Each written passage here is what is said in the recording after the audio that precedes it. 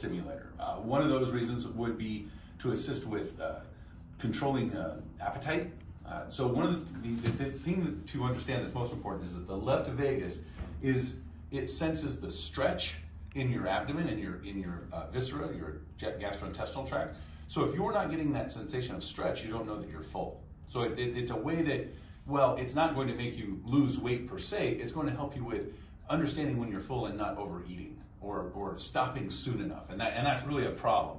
Uh, nobody, as far as I know, is addressing the stretch reflex and uh, stretch information of the intestinal tract, and they should be. And so, uh, as a vagal stimulator, we're just going to use a, a, simple TENS unit. There's a TENS 7000, it's called. And so we have our patient here, and she has come in. She's our our lab uh, lab lab partner on this. So the uh, TENS 7000 comes with instructions. It comes with two pads, okay, already in it, that will go on your skin. Uh, has some other uh, other things written in there. So setting up the TENS, uh, you, you, pull out the TENS unit. You want to turn it over. It's got a little compartment here. Pull your black thing like that. We're going to take now the battery, they, they supply a battery. The, the problem is the battery is contained. Let me get a pair of scissors here.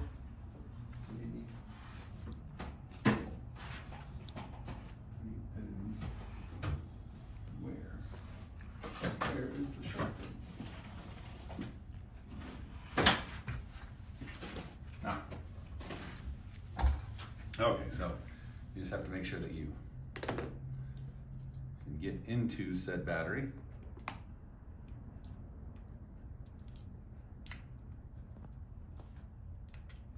do want to show you guys just the setup from beginning to end.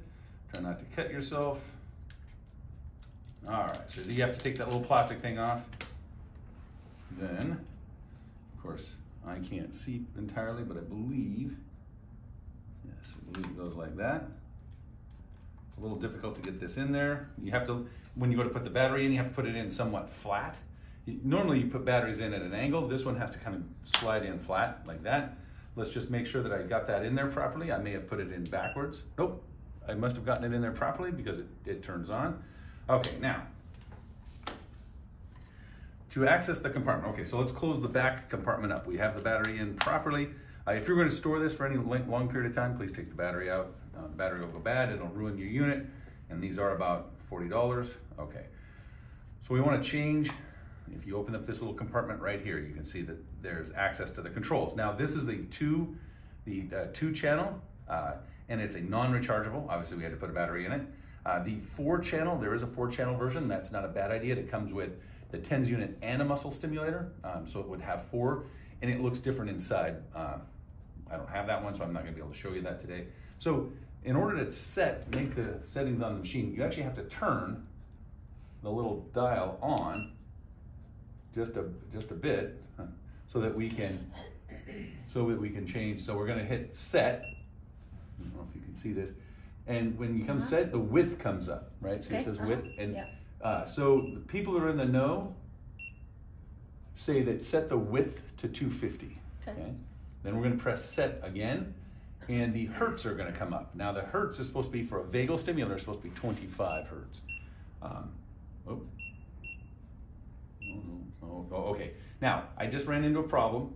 I can't get it to go to 25. It jumps from 20 to 30, and that's because up here the mode that it is in is called burst.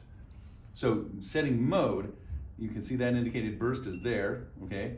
Then I have normal, and I want to put it on normal. Uh, you, or actually, I want to put it on modulation. The reason we want to put it on modulation is because the problem with a TENS unit or any stimulation is that your nerves. So there used to be this idea that the gate theory of pain. That's a whole. That there was this gate theory of pain that your neurons can only uh, worry about one thing at a time.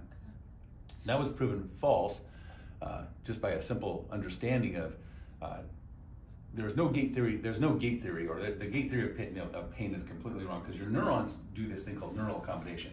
For example, your your clothes are on your body, and you completely forget they're there until I mention it. Right. So your nerves have accommodated to the sensation of your clothes. So if if the gate theory of pain worked, you could, would just need to wear clothes and would never have pain. Um, that doesn't happen. So. Therefore, neural accommodation, your nerves only pay attention to novel or, or dangerous things. So if you're using a, a TENS unit for pain relief or et cetera, et cetera, it, it doesn't work uh, very well. So uh, you can use the normal setting or the burst setting, but then the modulation, and modulation just means random modulation, so that it will jump around and that your nerves can't get used to it. Okay. So once we're on there, back to, uh, again, set. I'm on 250. Mm-hmm. I want to change my, my uh, this says rate. This says rate, and I want to Oh yeah. Okay. Uh, uh, uh, okay. There's my 250. Why is it doing that? Oh, okay. It's setting up both channels. Okay. So you, yeah. Let me go to. Oh, okay. That's all right. Never mind. Just hit set twice. Go to your your hertz, which is over here. Take that down to 25 there's okay. 25 now. So now we have that on 25. Okay. It will just stay here. So once it's set, okay, so then I'm going to hit my mode, mode, mode, mode, mode, modulation, set, set. Everybody's set. We're all set. It'll say 250, it'll say 150, it'll say 25. So we're just gonna we're just gonna close close that and say, okay, we're set. Okay. So I'm gonna leave it on modulation. We're gonna turn it back off for a moment. okay, so that's how the, the unit is now set up. That's how we want it for a vagal stimulator. Now it comes with two, because this is a two channel, it comes with two sets of leads. And typically what happens is these leads will attach to your electrodes, okay? Come on, there we go. Be a little hard to get open. Yeah, so if we just undo those leads. Now, since we want a vagal stimulator, there's a couple of different things we want to do. Um, Okay, so so these are these are hers, right? So right in the top here, you just plug them in right there. Okay. And they just fit right, come on. We'll go in there. Why is it not going in there? Hmm. What is going on? There we go. Just yeah, well, yeah, press and get it just lined up just right. Okay, so we have two of these. Now, so you want one channel if you buy, so that was a TENS 7000, and then there is a uh, biorhythm, a biorhythm ear clip for vagal stimulation. Okay, and those little things look like like this. It's a double-sided ear clip. Okay, now there's two places that you generally put that. You could put it on the tragus of the ear, or you could put it on the auricle of the ear. Uh, we advise that it be more the tragus of the ear because of the vagus nerve innervates the inside of the ear. Okay? Um, now, here's where things are going to get funny because uh, I get a little I get a little technical. Okay, so you you okay. just slide your leads into there. So you've got one whole channel dedicated to that. Okay? And one whole channel dedicated to these. See now you have a you have a set of it comes with a set of four. Okay? okay. And again, your your your little leads will fit right in there. So we're going to take two of these and we're going to use them. And we're going to apply them to Bahar here. Okay.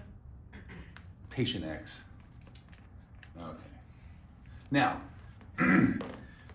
uh, we are interested in uh, improving her sensation of the stretch of her gastrointestinal tract. So when we're talking about the vagus nerve, there are actually two vagus nerves. There's a dorsal, which means back, and a ventral, which means front. Okay? The ventral is interested in cardioventilatory effort. Okay? Now, since the stretch reflex is, of the vagus nerve is on the left, if it's stretch of the heart or stretch of the lungs, it'll, it would be the ear. But if it's stress of the gas, if it's stretch of the gastrointestinal system, you're actually going to use. We're not going to use. So for for Bahar, she doesn't actually need my little ear stimulator because we're not doing cardioventilatory so for mood, for uh, cardioventilatory, that's going to deal with the ear. So you'll see this all the time that people are doing vagal stimulation and they're, and they're focusing on the ear. The problem here is if you're if you're looking at gastrointestinal stuff, the nodose ganglia, anterior to C2, right about here at the angle of the jaw, is the one we're going to be interested in. So Bahar is actually going to have four leads. Okay, so we are going to match together the function of the vagus nerve. Okay, so your, your vagus nerve right here is going to be the one that we want to stimulate. Okay. So what we're gonna do is, um, we're gonna, we're gonna hit a couple of places with your leads here, okay? And then we're gonna do one on your stomach. Okay. Okay, so we're gonna put one lead here, one lead like, uh, and, and generally what we wanna do is, is early in digestion, we want, we want to get that sensation of stretch from the stomach, okay? So we're gonna do one of those. So just up under your rib cage, just below the, uh, kind of, kind of towards the center, we're just gonna have you put this one on. Okay, now there's a little plastic separator here that holds these leads together, and you have to pull your leads apart so you can, yeah, so we're just gonna take that, and we're gonna put it, there's the xiphoid, and we're just gonna put it right here, so that she's getting stimulation into the stomach. Now there's an, and, and we'll talk about the rest of this. So I'm gonna put one there and one on anterior C2, or not quite anterior, we're gonna put it on that sternocleidomastoid. So if you'll turn your head to the right, you see that the sternocleidomastoid pops out, angle of the jaw. So I'm gonna put it right, right there. Now that simulation is gonna be on the sternocleidomastoid. I'm not on the anterior structures per se, I'm on the muscle. That's fine because that those sensory neurons and the nodose ganglia are gonna pick that information up. Okay, so, so that going to be our first lead. Our second lead Okay, we want to we want to supply the sympathetics, right? So the the the stomach is innervated at T5 on the left. So we would put one of these leads at T5 in the back. So Bahar, I'll have you turn around for me. And so T5 is uh, fairly readily accessible here. So this uh, spinal scapula is T4. So I'm just going to go. I'm going to attach it next to her spine. At so there's a spinal scapula.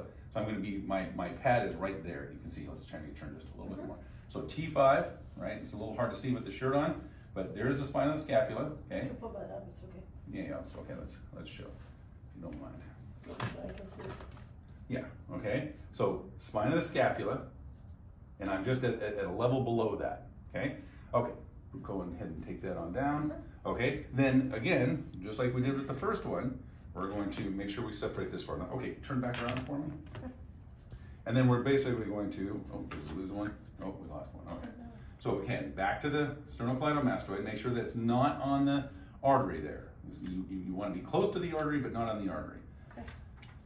And then this, and, and again, this front one, now, the, the, yeah, the front one, yeah, we are gonna do, we're gonna do right next to that, we're gonna go, because we wanna get the, the stomach okay? And that stomach's up under this rib cage, so we're pretty good there.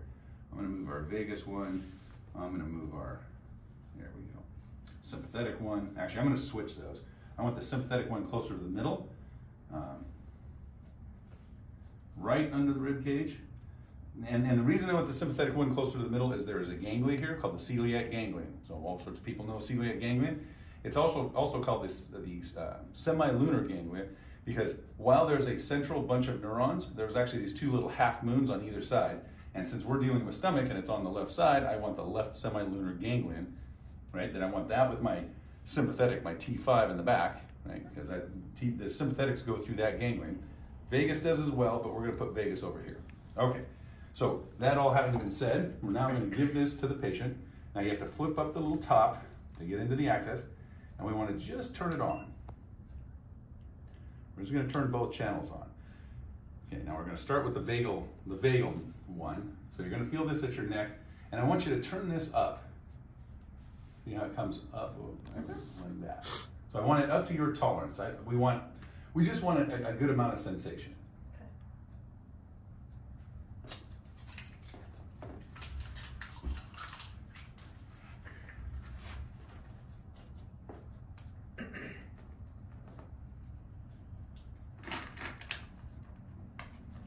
So since we're doing this, we're not doing this for mood. We're not doing it for uh, cardioventilatory effect, a stretch reflex or, or stretch stimulation.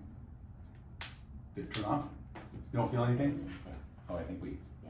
you turned it off. Okay. This way is. So that way, uh, okay. Feel that? Do you feel a little buzzing coming out of those? Not yet. Okay, keep not turning it counter uh, clockwise. Uh-huh, I do.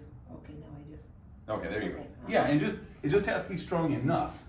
Do I only play with this part? No, no, let's do the other one now. Go ahead and turn Okay. the other one up, because and you'll feel that a little bit in the back and a little bit more in the middle, and Got it. just enough stimulation. we want to help bring up that that stimulation because Got there are very all sorts of things in the body inhibit the left vagus. That's why this makes it such a problem. That the left vagus is the one that uh, senses stretch, whether that's the dorsal vagal complex or the ventral vagal complex. The stretch reflex is on the left. So if it's gastrointestinal, nodose. If it's uh, anything to do with the brain, uh, uh, nasal pharynx, heart, lungs, then it's the ventral vagal, and we would attach to the ear. Okay. Well, Bahar is interested in making sure she gets the signal that she's full. Mhm. So we're going to use this one.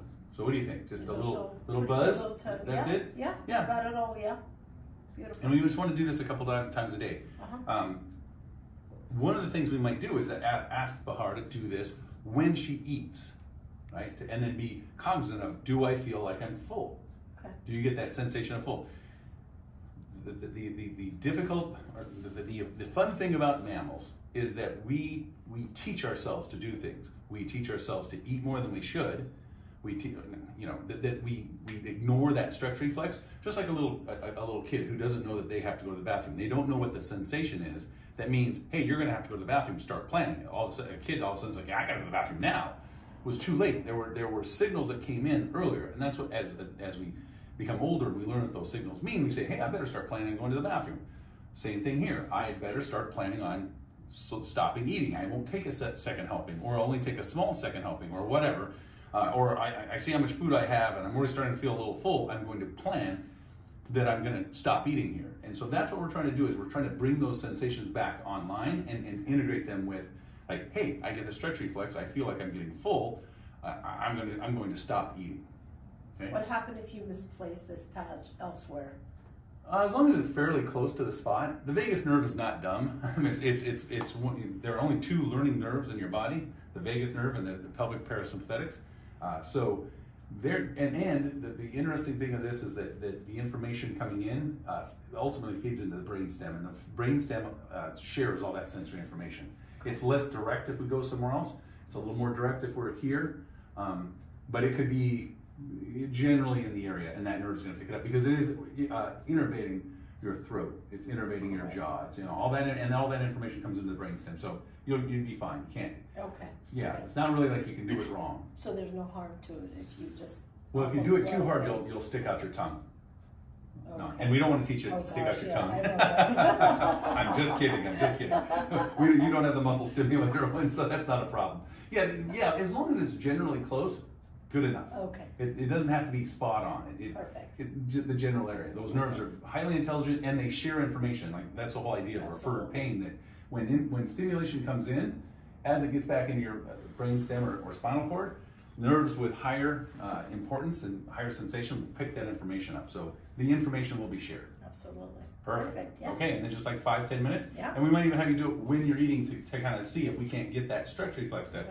Kick up. That's what I would highly suggest. When you say it. when you're eating, while I'm eating, Yeah. you wear this? Yeah, so Okay. let's say that you're gonna you're gonna eat your evening This is meal. lunch, okay. Yeah, or your lunch or whatever. Okay. You're saying, okay, I want to see if I can make it so that I feel that stretch reflex and I become highly aware of it Okay. sooner, Okay. right? Because that's the whole thing is that we've lost that. Sometimes we denude or you know because your mom said finish your plate, right? Right, so you right. ignored. Oh yeah, but I'm full. I don't care. Finish your plate. So we've Okay. taught ourselves to ignore those signals. Right. We have to relearn that those signals mean something to us, right? And that's kind of the whole reason we're using a vagal stimulator and why we're doing that because of the is science. Of, isn't that interesting? Yeah. It so- is perfect. all right, and, and then like if you don't want to make sure you don't accidentally bump those, just put your Right. little top on there, and there you go. Okay. Beautiful. Good to know. Awesome. Thank you. All right, thank you. Your education. So we'll see how that goes. Okay.